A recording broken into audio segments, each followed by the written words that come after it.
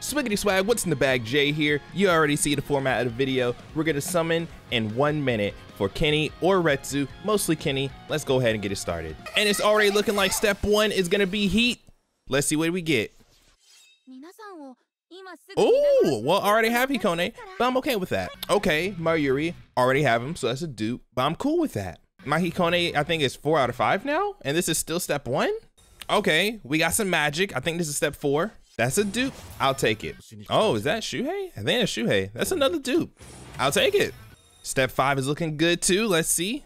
Yes! Let's go! Woo! That's what I'm talking about!